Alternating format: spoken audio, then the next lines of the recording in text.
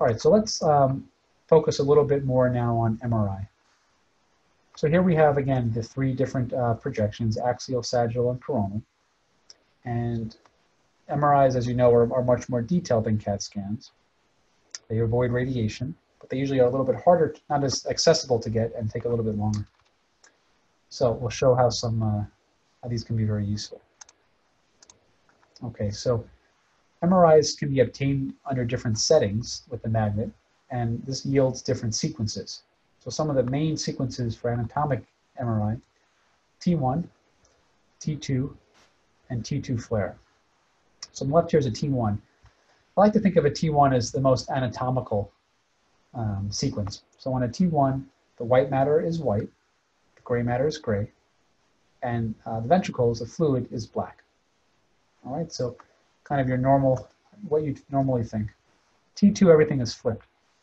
And T2, you know, the fluid is, is bright, the white matter is dark, gray matter is a little bit lighter. T2, I think, is, is very good for showing pathology. So if you're just starting out and you're doing clinic, you know, on your sub-I with the chairman and he says, hey, show me, you know, this patient's scan, probably better to pull up the T2 first because that may show you more clearly any kind of pathology. A T2 FLAIR is pretty much the same as a T2. It's just that the, um, the signal for the, the fluid spaces are inverted, meaning that here CSF is dark. This is nice for conditions like multiple sclerosis where you may have lesions that are bright on T2 and you just want to really contrast the lesions around the ventricle a little bit better than if the ventricle were bright already. So FLAIRs are another good one for picking up pathology. So in addition, uh, T2 and T2 FLAIR is good at picking up water.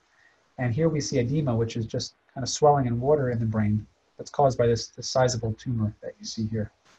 So this is called vasogenic edema, meaning the tumor, the blood vessels are not normal and they're leaking out some fluid. And you can pick that swelling up with MRI. You can pick it up um, a little bit more faintly on, on head CT as well.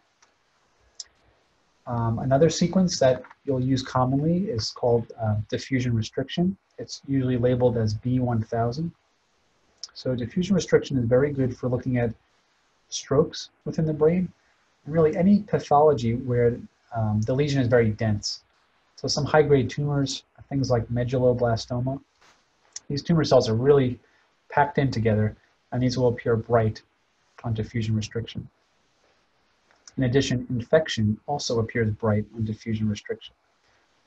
Now, it's, it's important to check the converse of diffusion restriction, which is the ADC. So usually a lesion that's bright on diffusion restriction will be dark on ADC.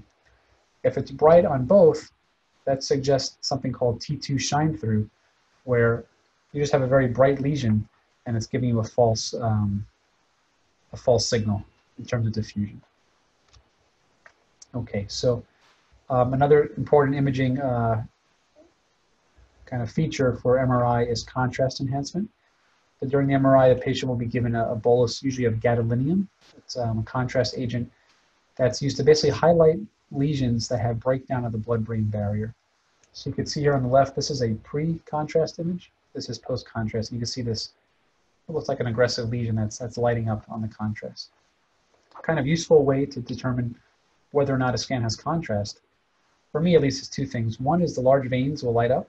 So this in the back here is the sagittal sinus. You can see that's very bright compared to the pre-contrast scan. The second thing is the nasal mucosa. You see that this is lighting up on the post-contrast compared to pre-contrast. So, you know, sometimes studies get mislabeled, but if you look at the veins and the nose, you'll be able to figure out if it's contrast or not. And clearly, if the pathology lights up, that's, um, that's obviously very helpful as well.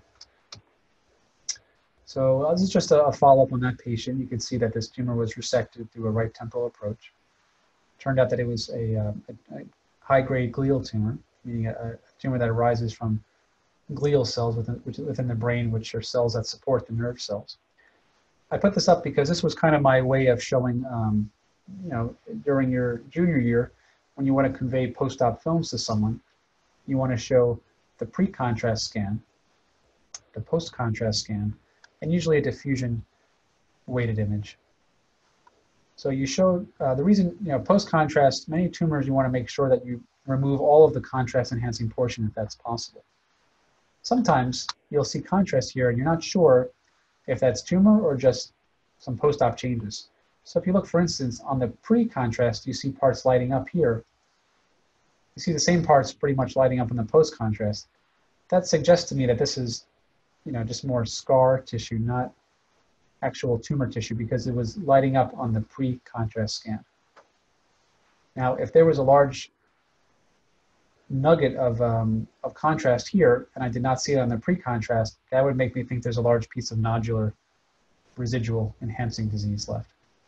And of course, you want to check diffusion weighted imaging to make sure there's no large strokes that occurred from your resection if you sacrifice a blood vessel, for instance. So just from a more practical standpoint, these are the, the sequences you'd want to look at after surgery. Hey everyone, Ryan Rad here from neurosurgerytraining.org. If you like that video, subscribe and donate to keep our content available for medical students across the world.